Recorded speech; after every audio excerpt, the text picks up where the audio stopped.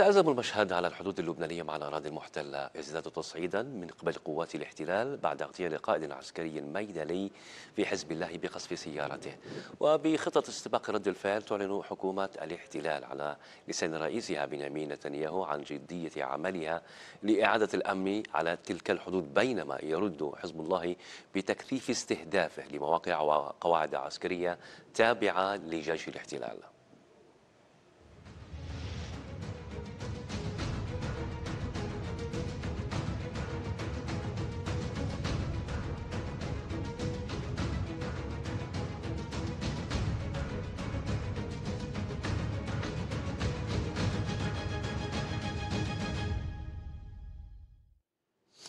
ينضم إلينا من بيروت الكاتب والمحلل السياسي يوسف دياب أستاذ يوسف أهلا بك آه، بداية برأيك هذا التصعيد غير المسبوق إلى أين ستذهب الأمور بين حزب الله والاحتلال الإسرائيلي؟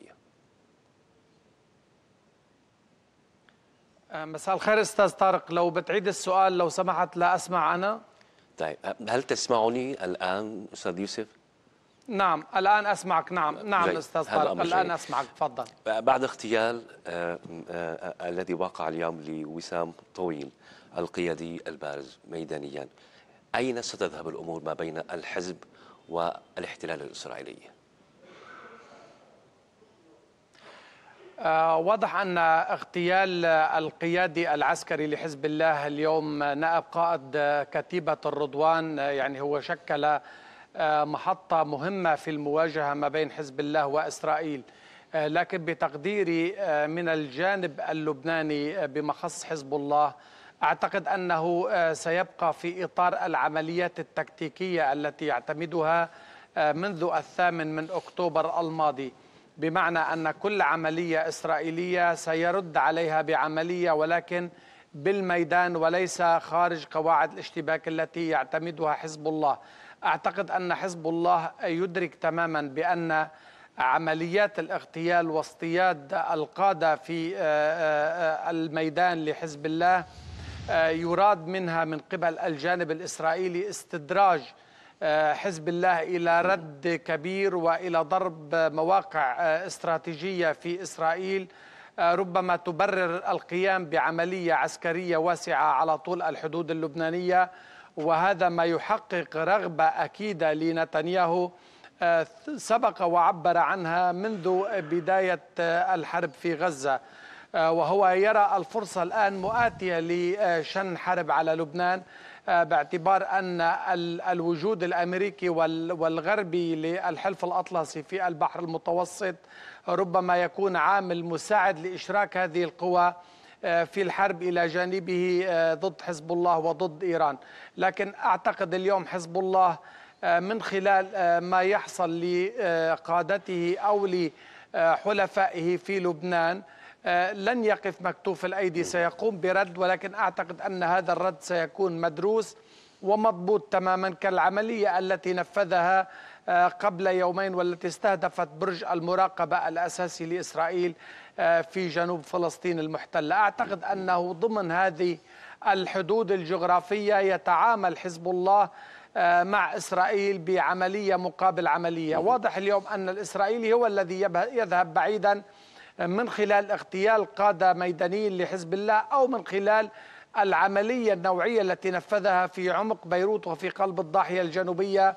والتي أودت بحياة القيادي في حركة حماس آه، صالح العاروري أنا لا أعتقد اليوم أن اغتيال هذا القيادي قد يستدرج حزب الله إلى عملية كبيرة تبرر لنتنياهو والمجلس الحربي أن يتخذ قرار لا. شن الحرب على لبنان.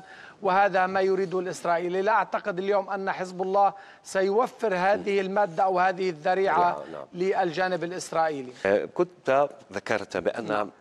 الحزب حزب الله آه، سيرد الرد المتناسب ضمن عمليات محسوبة ومضبوطة الإيقاع.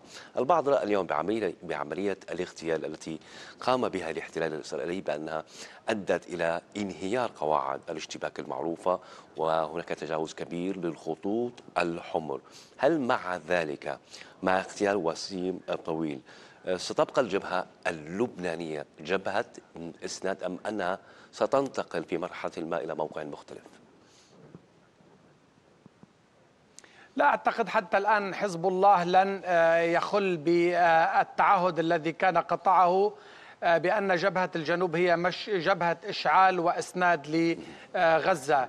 آه، واضح اليوم أن الإسرائيلي تخطى قواعد الاشتباك وتخطى الخطوط الحمر التي كان وتحدث عنها أمين عام حزب الله بمعنى أنه لن يسمح لإسرائيل أن تتخطى هذه القواعد. آه، لو كان آه، ثمة مبرر لحزب الله لأن يقوم برد واسع آه، ويخرق هذه القواعد لكان فعلها منذ اغتيال القيادي في الحرس الثوري الإيراني, الإيراني رضي الموسوي في دمشق أو باغتيال صالح العروري في الضاحية الجنوبية أو باغتيال نجل محمد رعد النائب محمد رعد. باعتقادي اليوم حزب الله يعرف تماما أن تكلفة آه، جر لبنان إلى حرب لها أثمان كبيرة آه، اقتصادية وعسكرية وسياسية آه، وحتى بعلاقات لبنان مع الخارج. لذلك هو لن يجازف بالذهاب إلى هذه الحرب لن يسمح إسرائيل لو لن يمنح إسرائيل هذه الورقة. لكن ذلك لا يعني أن هناك ضمانات بأن لا تجازف إسرائيل الأكبر وتذهب إلى عملية واسعة مع لبنان. لنتذكر أستاذ طارق أن نتنياهو تحدث قبل أيام أو وزير الدفاع جالنت على ما أعتقد وقال أن آه، آه، أن الحكومة الإسرائيلية مددت مسألة إجلاء المستوطنين من شمال فلسطين المحتلة حتى التاسع والعشرين من فبراير المقبل. وبالتالي هذا سقف زمني ضاغط على لبنان وضغط على إسرائيل بمعنى أن الحكومة الإسرائيلية إذا لم تحقق مطلب أساسي هو مسألة إبعاد حزب الله عن منطقة جنوب الليطاني بعمق عشرة كيلومترات عن الحدود اللبنانية آه، الإسرائيلية ونشر قوات دولية معززة في هذه المنطقة آه، سيلجأ إلى الخيار العسكري.